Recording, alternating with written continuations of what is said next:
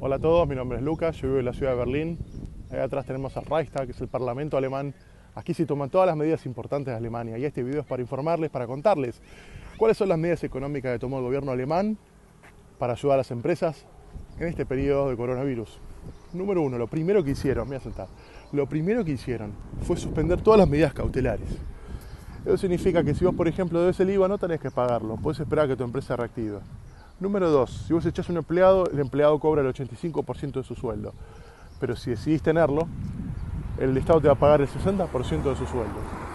Número tres, a empresas de hasta 5 empleados le han dado 14.000 euros de subsidio y empresas de hasta de 6 a 10 empleados le han dado 20.000 euros de subsidio.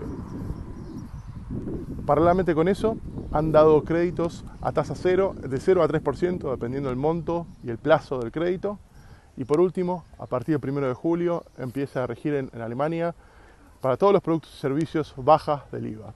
Así que no te creas lo que te dicen los medios de comunicación. Los estados europeos en mayor o menor medida están ayudando a las empresas para combatir el coronavirus y sobre todo están haciendo una reducción drástica de gasto público y lógicamente de los impuestos. Saludos de Berlín, que estén muy bien. Chau, chau.